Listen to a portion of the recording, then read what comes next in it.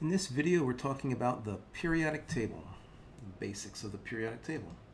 So this is a periodic table, and it has a lot of information in it. We're just now starting, going to start digging into what, what it can tell us. And this looks a little complicated, so we're going to look at this kind of one piece at a time. But what we're going to look at is that this periodic table, you can break it up into what we call periods and groups. A period is a row, so the first row has these two elements, hydrogen and helium in it. Second row, lithium, beryllium, boron, carbon, nitrogen, oxygen, fluorine, and neon, and, and so on and so forth.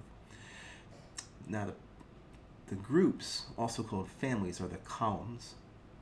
And there's names for some of those, but not others. The alkali metals, alkaline earth metals, halogens, and noble gases. We'll see those in a second.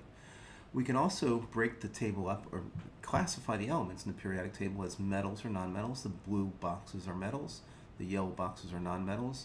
Green boxes are what we call metalloids. We'll get to those in a minute.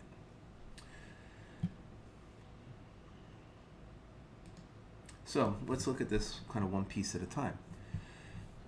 The names of these groups or families that have names, the first column are called the alkali metals. Now, each of the groups or families or columns is labeled with a, a number, and there's two systems of numbering that you're going to see um, the one numbering system just goes from 1 all the way through 18. Let's go back here. It would be, you know, 1, 2, 3, 4, 5, 6, 7, 8, all through 12, and then 13 through 18 here. The other system has these A's and B's in it. 1A, 2A, and then the B's for this sunken block here, which we'll get to in a minute, and then goes back up here to 3A, 4A, and all the way over to 8A. And you'll see both of these numbering systems. I think we probably use the one where it's just 1 through 18 these days anyway more commonly. The transition elements. This is this sunken block in between here, and this is the gray area in here. So there's a first column, which, which are called the alkali metals, then the second column, which are called the alkaline earth metals, and then we have the, the 10 columns that are the transition elements. And then we come back out here. There's no real common name for any of these columns until we get to the next to the last column, which are called the halogens, fluorine, chlorine, bromine, iodine, astatine, and then the noble gases, helium, neon, argon, so on, xenon. Now we can also call, break this up, or talk about the elements as the representative element, representative elements versus the transition elements. The representative elements are just the columns that are the outsides. The first two, the alkali metals and the alkaline earth metals, and then the, the ones over here, you know, 3A through 8A or 13 through 18. So you need to know, you know, you need to be able to, to classify an element as to where it belongs in the periodic table.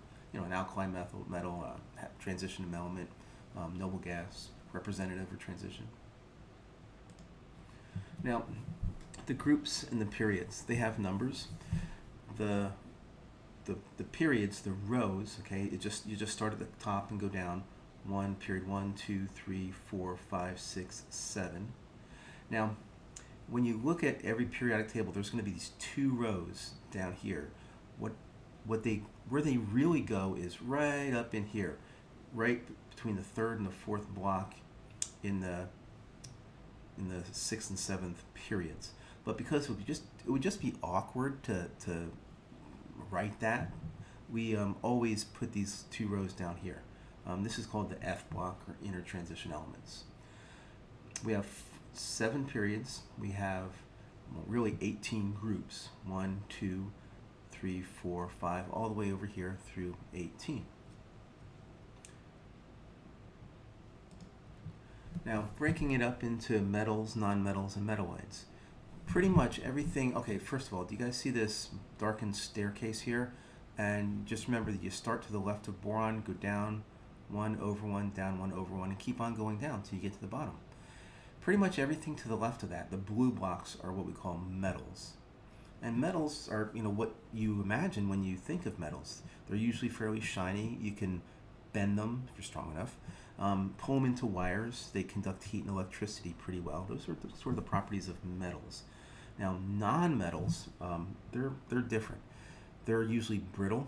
They have really high melting points for the most part. Well, actually it varies. Some are gases at room temperature, so we can't say that. But they're, they're brittle. They, um, they don't, you can't make them into shapes usually. They're, they're just different. We have these are usually the remember the noble gases. These are all gases actually at room temperature. And the halogens differ. Some of them are gases. Some are liquid. One's a liquid. Some are gas uh, solids. One is a solid.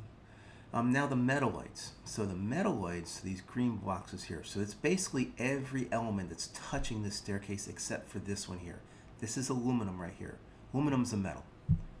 But everything else here is a metalloid. And metalloids have properties that are between those of metals and nonmetals. Nonmetals don't conduct electricity, don't conduct heat. You know, they're pretty much the opposite of metals. Notice this one guy way over here. This is hydrogen. Hydrogen is Actually, it can act as either a metal or a non-metal, but we usually classify it as a non-metal.